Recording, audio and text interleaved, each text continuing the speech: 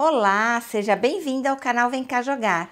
Eu sou a K e hoje vou apresentar um jogo inédito. Esse jogo nunca foi publicado em lugar nenhum.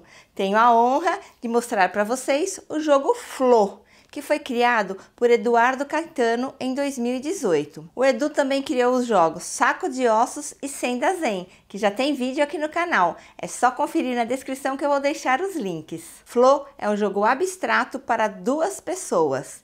Nesse jogo, os jardineiros vão mexendo suas flores para formar o mais belo jardim. Vem comigo conhecer? O tabuleiro é o nosso jardim. Ele é formado de duas partes. Tem essa parte interna aqui, que são quatro linhas por quatro colunas, são 16 casas. E em volta tem essa parte externa. No total, vamos ter 36 casas de tabuleiro. Cada jogador vai ter oito flores. São oito flores amarelas e oito flores rosas. Para começar o jogo, vamos colocar as flores na área externa intercalando as cores. Então, sempre uma rosa e uma amarela, mas aqui no cantinho, nas quinas, não vai nada.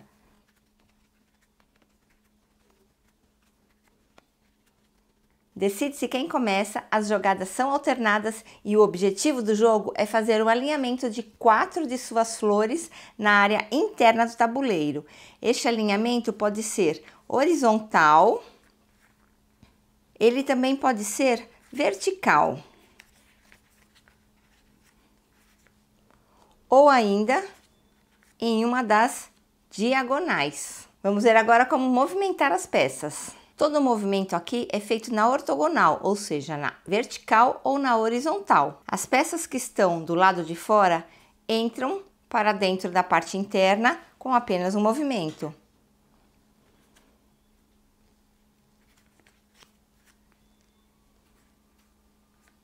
Aqui dentro, elas também andam de uma em uma casa, sempre na ortogonal. As peças que estão na área interna também podem vir para a área externa andando uma casa. Além de andar, as peças podem empurrar outras peças. Por exemplo, esse rosa aqui vai andar nesta direção e ele quer entrar na parte interna. Essa peça aqui é empurrada para tudo dar certo. A quantidade de peças que podemos empurrar depende do limite do jardim. Então, por exemplo, esse rosa vindo nessa direção, ele pode empurrar todas essas aqui.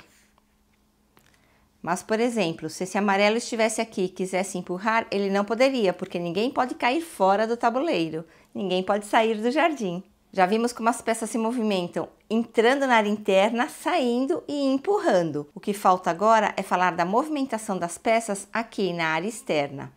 Na área externa, a peça não anda de uma em uma, ela pode andar quantas ela quiser desde que todo o caminho esteja vazio. Mas a peça não precisa andar todo o caminho, ela para onde quiser. O rosa poderia parar aqui. Preste atenção, aqui, apesar de quatro peças estarem alinhadas, elas não estão todas na área interna, então isso aqui não é condição de vitória. Todas as peças têm que estar dentro do tabuleiro. Você não pode desfazer a última jogada do seu adversário. Então, por exemplo, se o amarelo empurrou esse rosa para cá, na vez do rosa, ele não pode devolver as duas peças para o mesmo lugar.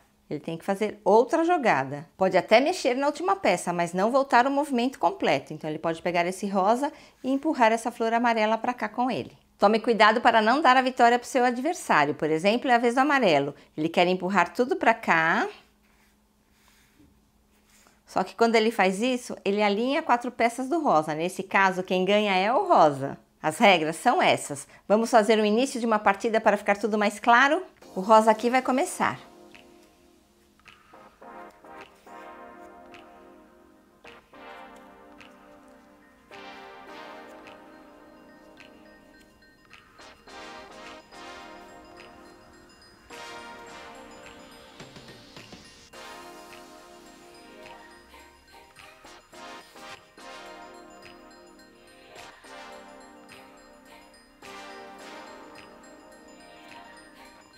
O amarelo aqui já quer empurrar aqui e alinhar, então o rosa tem que atrapalhar isso.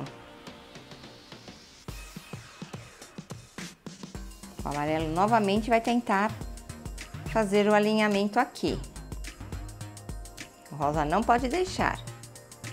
Então, ele empurra para cá. Agora quem vai alinhar é o rosa, então o amarelo tem que se defender.